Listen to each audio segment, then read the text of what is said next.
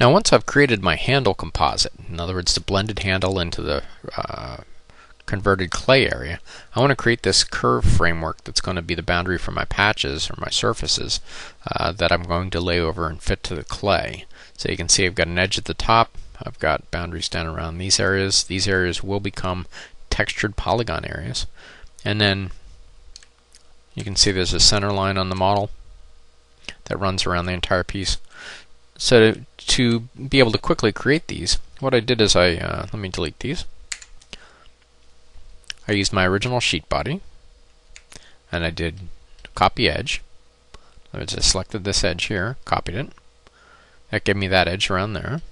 I also used the intersection on the mirror plane, intersection on the mirror plane, to create the center line around the body,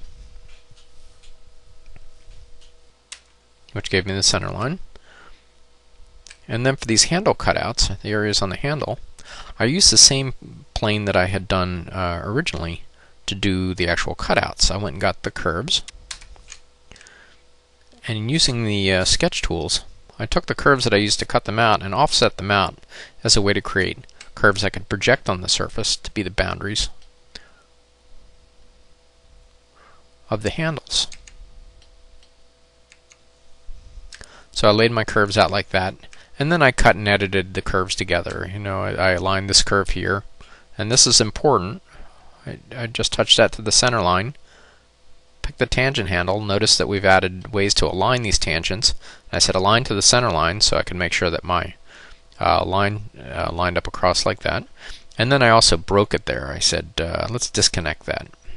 So I said, disconnect this line at this. So I just broke the curve there. I'll do the same thing at the bottom here. I'll line the bottom curve up as well. Again, take the curve, drag it so that it touches the curve, align its tangent, say line to the center line. So it goes directly across the center line.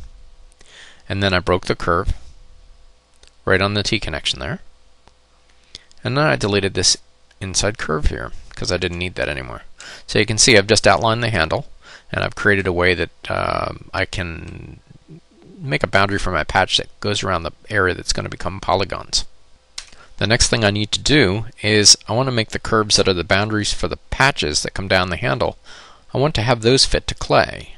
Uh, the curves that uh, go along the edge of the sheet body I do not want to fit to clay because I want them to align with the edge of the sheet body they were copied from. But these edges that go down around uh, the polygon area cutouts are the areas that, that are going to become textured polygons. I want to have them fit to clay and I want to have them more relaxed than they are than when I project them on from the sketch plane.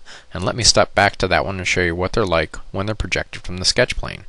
At the moment, you know, after I've worked on them, they're fairly simple curves. They're fit with a certain number of control points. They've got a certain number of edit points. But let me step back and show you what they're like when they're first fit or first projected from the sketch plane. So these are the curves as they are just projected from the sketch plane. If I click on one of these, you can see it's got 47 points and it's not fit to clay yet.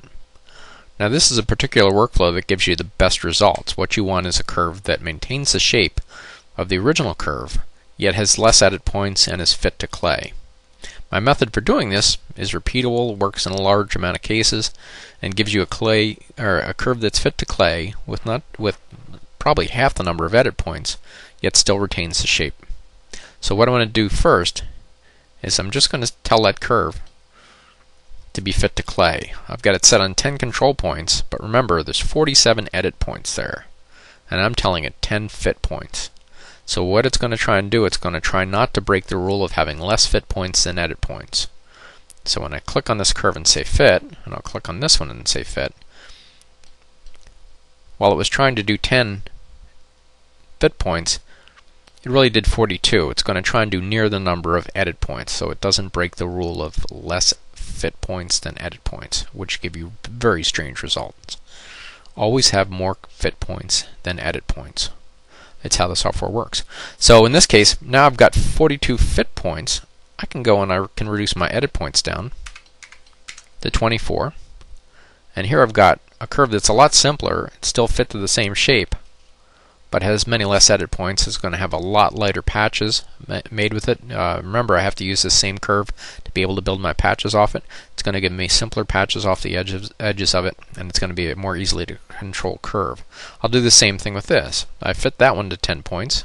Again, it said uh, it's got 37 edit points, so it's going to try and do near that number of fit points.